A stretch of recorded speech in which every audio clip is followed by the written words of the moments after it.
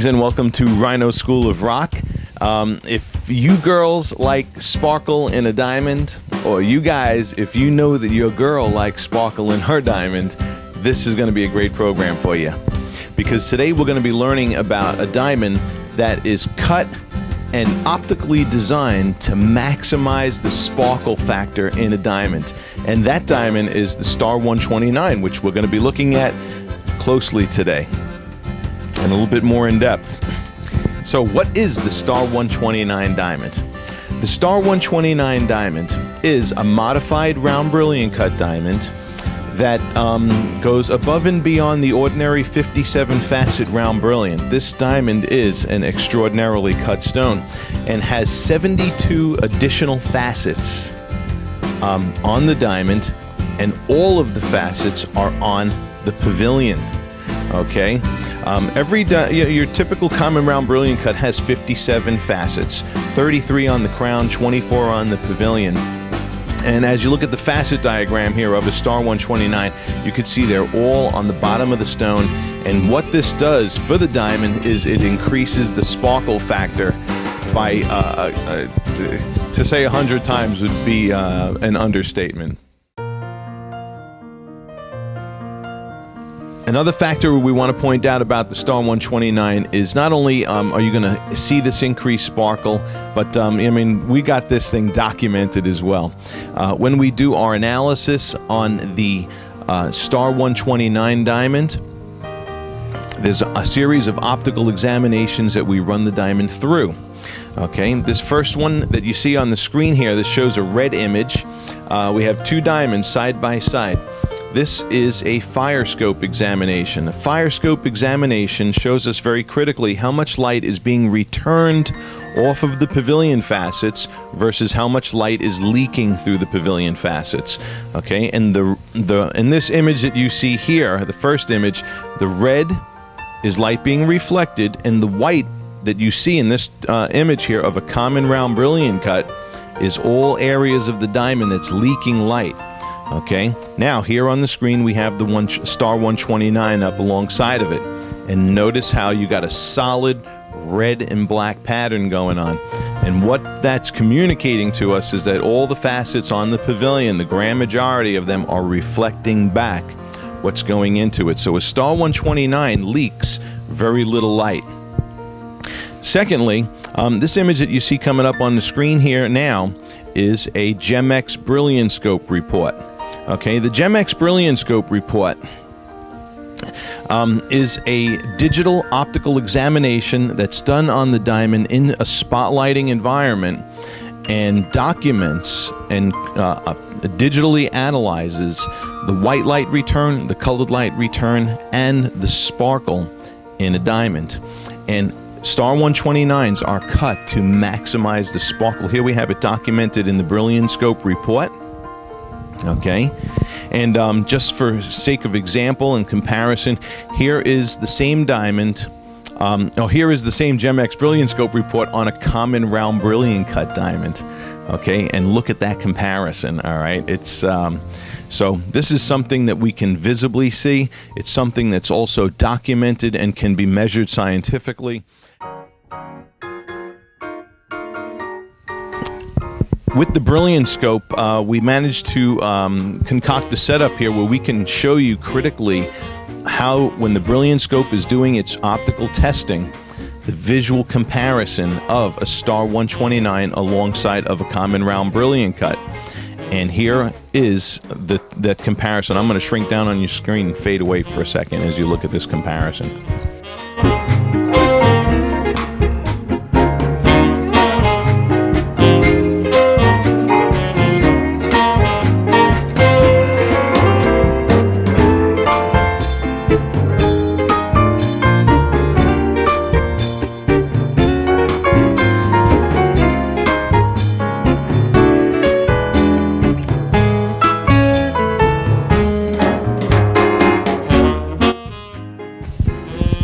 Pretty wild, huh? Okay, um, you know, while we're shooting this video, we did happen to get in our hands a branded Hearts on Fire diamond. Uh, for you people who've been shopping um, diamonds and uh, looking at advertisements and stuff like that, one of the most successfully branded um, 57 facet diamonds is the Hearts on Fire. And, um, and it is a pretty diamond. Uh, there's nothing, no, no taking away from that stone. But compared to the Star 129, I want you to see the sparkle difference. This is in the GemEx Brilliance Scope testing of a Hearts on Fire alongside of a Star 129.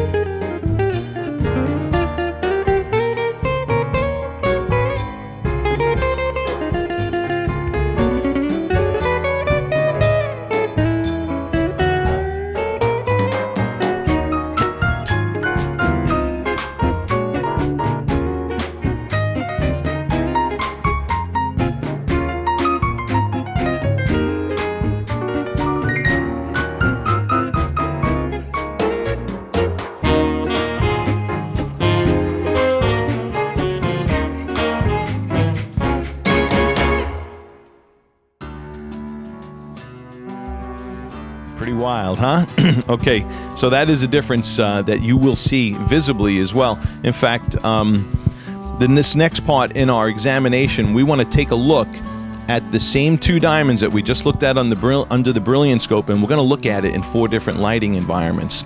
So, in this first comparison that we're going to look at here, we're looking at a Star 129 alongside of a common round brilliant cut. Um, you got to figure there's a lot of guys out there who will just go and they'll buy a diamond in a jewelry store, and uh, a lot of people sadly just don't do their research on this subject. And when you get a Star 129, this is the visual comparison that most people are going to see comparing a Star 129 to a common round brilliant cut. And this lighting that we're looking at the diamond in is an indoor diffuse type lighting okay? So that difference that you see you can see more brighter reflections coming out of the star 129 um, it's just a brighter diamond than the common round brilliant cut and is one of the reasons why that diamond is a staple uh, in our inventory here at goodoldgold.com okay now as we switch over from diffuse lighting to spot lighting uh, again hands down, the Star 129 just uh, absolutely blows it out of the water. Okay? So, this is a visual difference um, that is easily seen by the layman, and the lighting that we're looking at it in right now is common, uh, typical lighting. Okay? Now, um, just for the sake of comparison, you know, let's use now the 57 facet Hearts on Fire diamond alongside of the Star 129. Okay, and here again, we're looking at it in the diffused lighting for brightness. Okay, and granted, the Hearts on Fire, it's not an ugly diamond. I'm not, I'm not uh, downing that stone, not, not by any means. But here's your visual differences in brightness from the Star 129 to the Hearts on Fire. Now, as we switch over to the spotlighting, here is the sparkle factor that you're going to see visually between these two diamonds. Remarkable, huh? Okay, so you know, if your fiance really has a penchant for uh, for sparkle and she's looking for that increased sparkle factor, uh, Star 129 is something you may want to consider.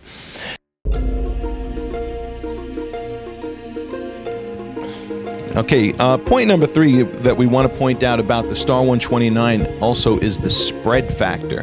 Okay, because these diamonds have edge to edge brilliance, um, they have a bigger face up appearance. And, um, you know, let, let's not deny things, guys. Women love to get the biggest looking diamond that they can, that you can afford to get them. So um, when you look at a Star 129 diamond, and now here's in this uh, comparison, what really makes this interesting, this Star 129 happens to weigh in the .90s, and the diamond, the common round brilliant cut I'm using here is a 1.01 in the carat weight. And look at the spread factor difference. So when I say spread factor, I'm talking about the size difference in looking. And um, there's a pretty notable difference in the size factor. Okay, so the edge to edge brilliance on a Star 129 really does amazing things with regards to the spread factor on a Star 129.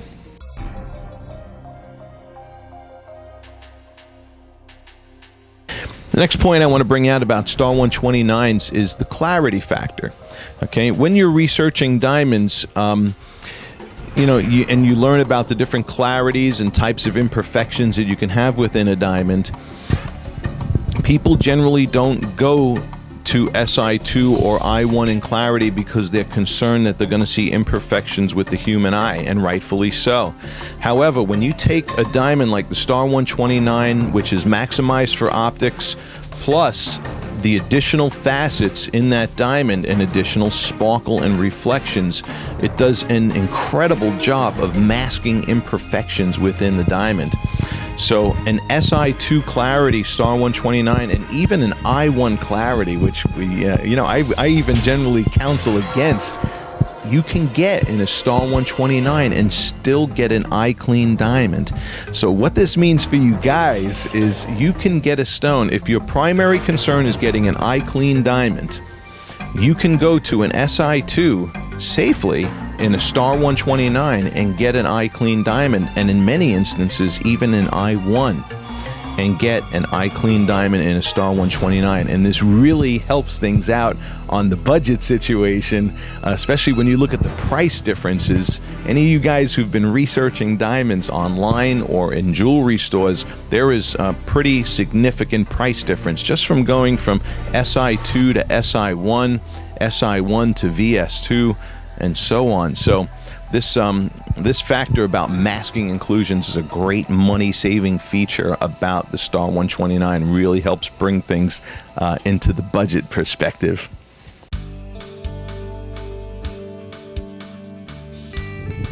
And lastly, the fifth point we want to bring out about the Star 129 Diamond is the color factor. All right. Now, I'm not here promoting yellow diamonds in a Star 129, uh, but people who are color sensitive and can see tints of color um, as you get towards the lower end of the spectrum, you know, like I, J, K colors, um, you know, even L colors. You know, when you look at them in standard round brilliant cuts, it's pretty. Uh, sometimes it'd be pretty easy for people to see the color differences. Well, when you take and tune the optics in a diamond the way they've been done to the Star 129, it makes them face up whiter okay? And the two diamonds that you're seeing in this clip here and that we've been using in the common round brilliant cut and the star 129 um, they're H and I colors okay? So both of them are pretty comparable um, in the color when it comes to the body color of the diamond but the face up increased bright reflections of the star 129 make this diamond face up whiter. And granted it is an optical illusion but our human eyes see the more bright reflections in a star 129 and interpret it as being a whiter diamond even though technically it isn't okay? So you know the the uh, the, the tuned optics of the star 129 do an incredible job of helping its face up color